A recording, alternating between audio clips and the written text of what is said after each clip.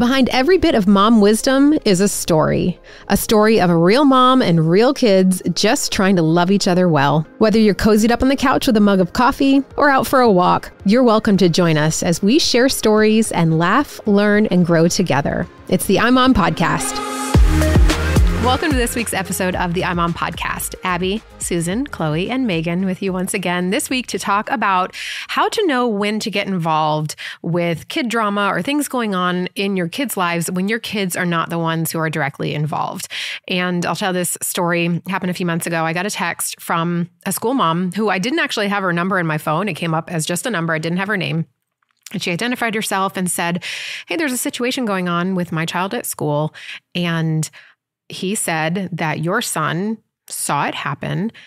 Can I get your son's version of the story? And she was very like reasonable with me. She's like, I know he might have experienced it maybe different from how it actually happened. And so I'm really curious to know what your son thought. When she said he, she met her son. Yeah. So she mm. was trying to get intel on does my Yes. son have the story yes. correctly? Could he be giving details that aren't, you know, aren't necessarily true? And it was like a bullying situation, actually involving a girl. And so I asked my son, and he told me the story, and I told the mom the story. And I said, you know, it sounds like what your son is saying happened actually happened. And she thanked me. And then she's like, I have tried to communicate this and I don't feel like it's been heard. Would you mind emailing administration? And that's where I was like, oh man, What like, step what do I do? yeah. I'm like, I, it's one thing, you know, to keep it within my own walls, but now to step outside of that, I'm like, you know, what do I do? And I actually did end up emailing the teacher because we have, you know, a hierarchy of of complaints. You know, you go up the ladder basically. And I said, here is exactly what is going on. She reached out to me. I I don't know this family very well. I don't know the other family very well. Black and white, here's what's happening. I am now stepping out.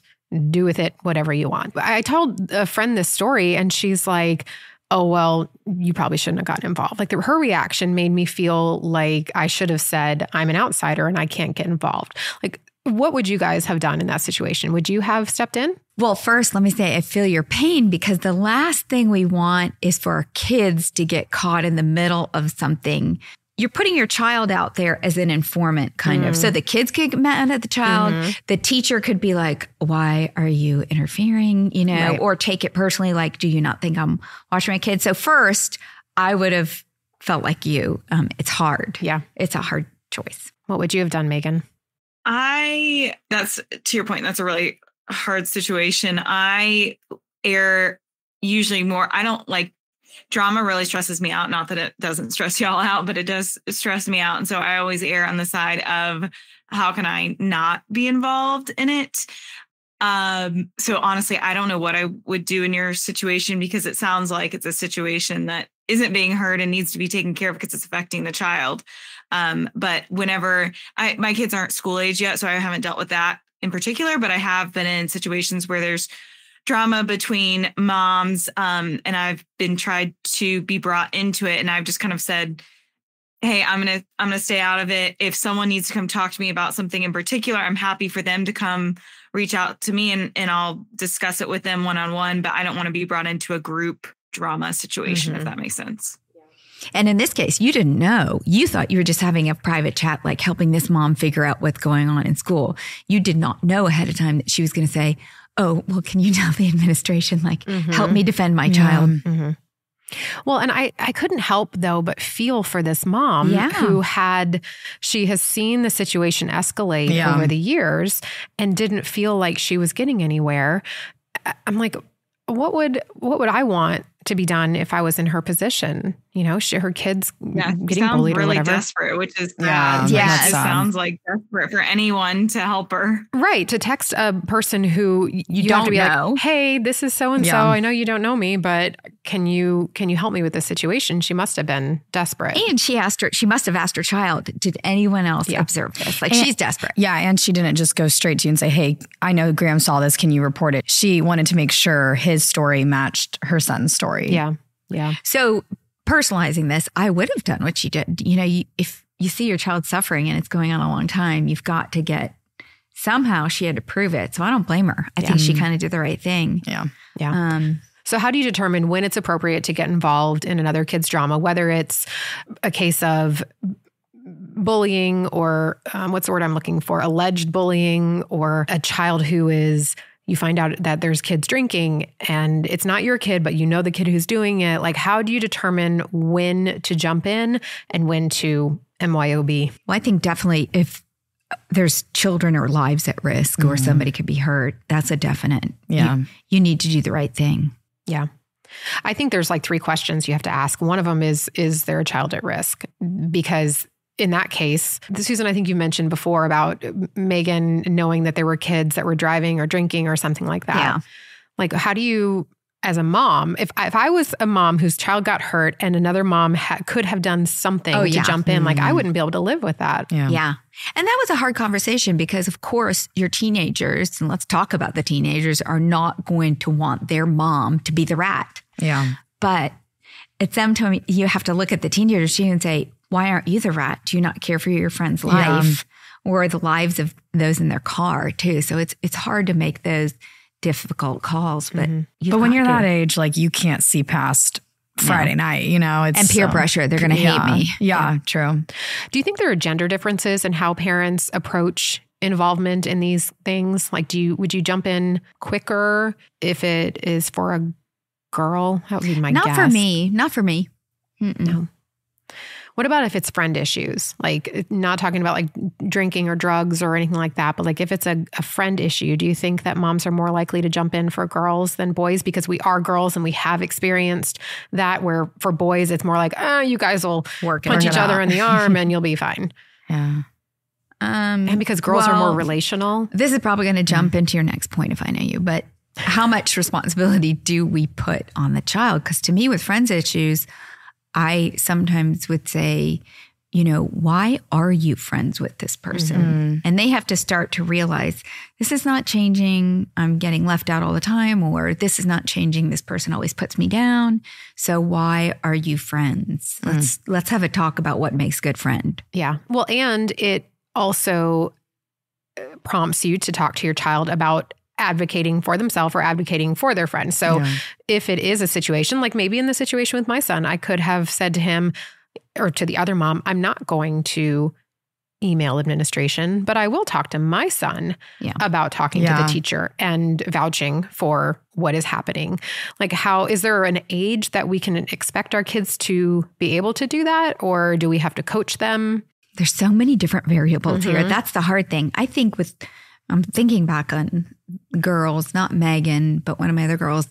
Um, you know, uh, girls can be manipulative Mhm. and girls can be codependent. Can I just say that Yeah. right out there? Right. And so sometimes if you try to talk to the other mom about it or stuff, it's a she said, she said thing. Yeah. And you're not going to get anywhere. So if it happens repetitively, you you have to have that conversation. Like I said, like, why are you friends? Maybe you need to take a break. This is not a good relationship. Um, it's bringing you more strife than joy. yeah. And you're at an age where you shouldn't have this complication. Let me know if this is going in a different direction, but what do you do in that situation where you've coached your child to make a decision on the friendship and then the mom comes and talks to you? Why isn't so and so hanging out with my kid? Um, I've had that. Not quite Yeah. like that, but um at that point, I think you can say to that mom, you know, I'm not sure, but you know how girls are. Sometimes friendships, you know, take a detour for a Yeah. while. So, uh, you know, let's just keep an eye on it. Mm, mhm. you Yeah. don't have to answer Yeah. to protect your child Yeah, that's a good point. because you can't say to that mom, well, your your daughter was causing my daughter a lot of strife. And I told her to take a break. and sometimes relationships just need a pause. They for a little do. yeah. They do. Or they mature in a year and they're fine. so true. So then another question to ask yourself if you're like deciding whether to step in or not is are you biased? Could there possibly be some bias? So the example of a friend whose daughter played volleyball and had been like picked on by another member of the team, not like necessarily bullying, but just like made it an unfun environment for her to, to play on. And they solved it. But then her daughter came to her and was like, oh, well, so and so is at it again with another mm. kid on the team. So this mom has been holding on to what her own daughter went through and now has to decide do I step in to help this new victim, basically? Yeah. Mm. So, like, I, I don't know if she could be unbiased because she is going in with information about what has happened in this situation with her kid. And that's super specific. But I think that in all these scenarios where we might be asked to step in or might have an opportunity to step in, we do have to ask ourselves if we are being black and white, if we are being fair or if there's a possibility that we could, you know, lean one way or the other. I'm trying to think about how to do it. In that case, I might go to the coach and just say, hey, mm. I don't know if this is a thing or it was just a thing between my daughter and this girl, but, you know, my daughter worked it out. It's not a problem for us, but I've heard rumors that it's kind of happening now with another girl. So you're with them. Yeah. Can you just get a pulse on it? I would hate for this to happen to somebody mm-hmm. else. Yeah, and then it's out of your hands. Yeah. Is there like a better person to go to in a situation? Like, do you hold back from going to the other parent? and instead go to the coach you know like how do you it, like in my situation she asked me go to administration and i was like that is levels up from where i need to be we don't need to escalate it that quickly but I would not have gone to the other mom because I don't know her from anybody. No. And and and it's not your child. I mean, your child was just a bystander. Right. Yeah. I think it's. I think you were right to go to the teacher because I think the teacher is the only one who can keep an eye on it in the classroom, mm-hmm. um, and really get a handle on is it happening again or right. I don't know. Yeah, I think a lot of times, and this third question to ask before you jump in is Will your involvement help or just stir the pot? Sometimes the teacher might already know. Mm-hmm. And like, are you piling on? Are you just adding to the he said, she said? Are you giving information that she doesn't necessarily need?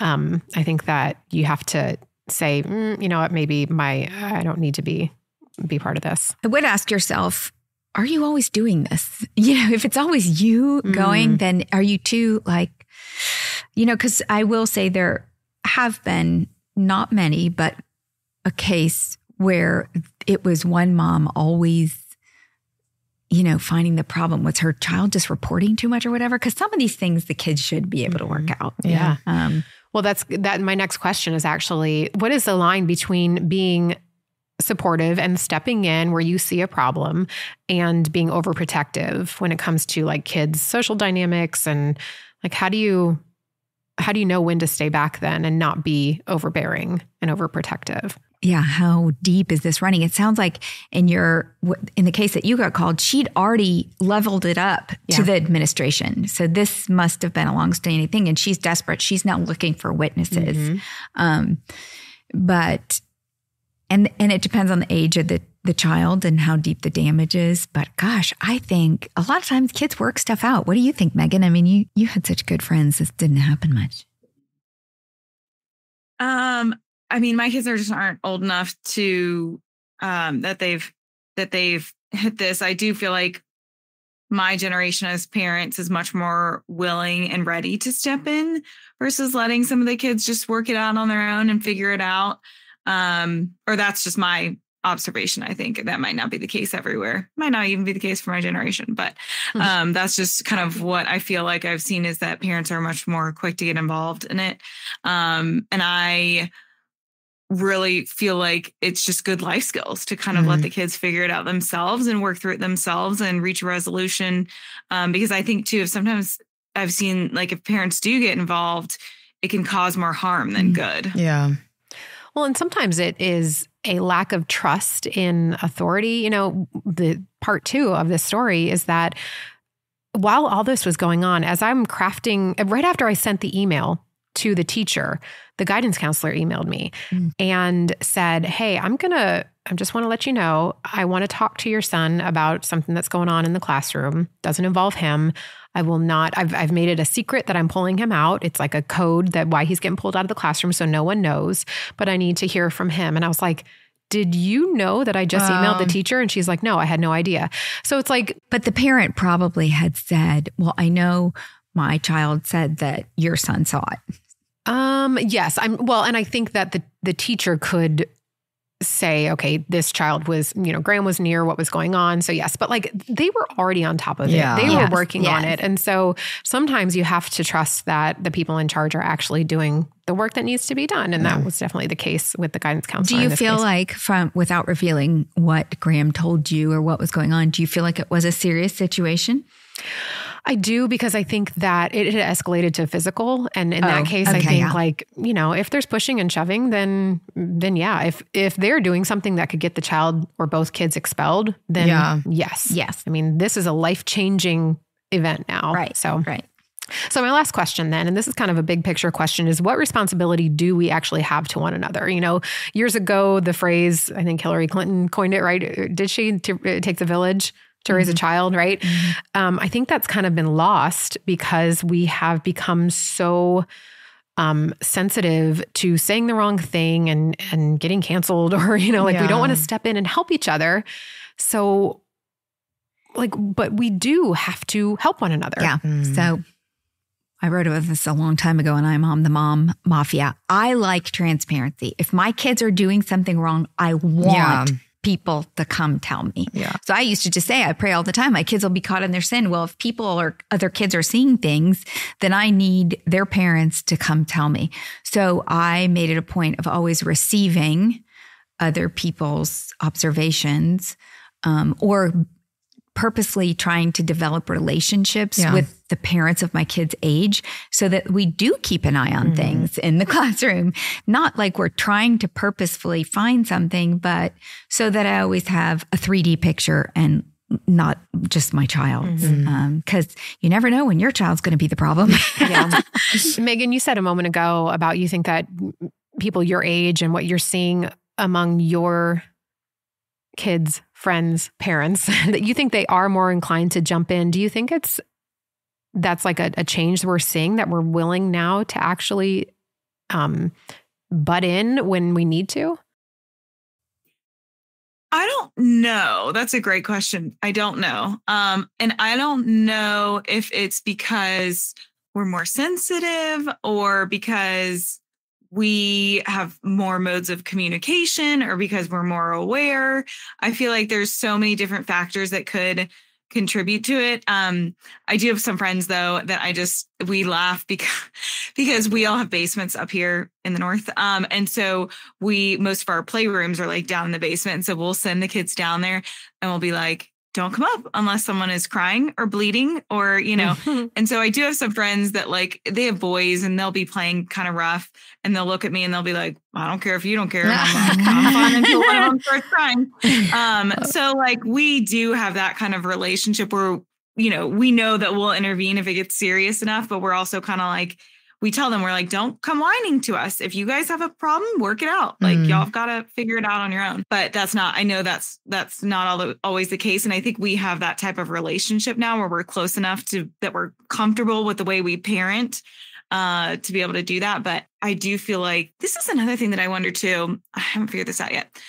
Are the schools involving the parents too much Too sometimes? much. Like sometimes I get reports from like from school and I'm just like, did I like I don't really care. Like but but they have some legal obligation to like notify me that Mm. you know someone bit me bit my kid or that and I'm just kind of like was he bleeding? Like oh, She's he's got not- boys. He's They're not even tough. bleeding. It didn't, it didn't even break the skin. He doesn't even have a mark. Like don't bother me. Like I'm just kind of like you know unless it's serious and I need to take him to the hospital. Got it. But like you don't. But that's what I don't know if schools are under like Mhm. more legal obligations these days to notify parents of Mm. things. I agree with her. Are we making small, you know, mountains out of molehills? I will say the other thing I wonder too is when you're considering, do I need to get involved or not? What is the motive of my heart? Yep, is it what I was genuine, genuine Mm. concern, or am I stirring it up because I'm just mad that that child Oh, is doing yeah. that? Mhm. And I feel like some moms are making it a deal because they just don't like it versus anyone's really, Mm. yeah. you know, especially Yeah. with boys playing in the basement. Okay, somebody's going to get hurt. You just know it. Yeah, It's not personal. no. I totally agree. And I think that is kind of the foundation of so many things that we talk about on this podcast is you know in your heart what the right thing to do is and you need to go in that direction. I felt like this mom was desperate. I felt Mm. I, I was sad for her and she was frustrated. And I think her kid is a good kid. And so uh, stepping in felt okay. But if it was, well, I want to be the hero or I want to Mm. be in the mix of things that are going on, you know, that's where you have to do a gut check and go, well, okay, maybe my heart's not in the right place. So you probably know the right thing to do and whether or not to get involved. All right, we want to hear what you have to say. Chime in on Instagram. We are imom.com with the DOT spelled out, right, Chloe? Right. imom.com. All right. Love it. Thanks for listening. Thanks for listening to the iMom podcast. iMom is the motherhood program of the nonprofit organization Family First.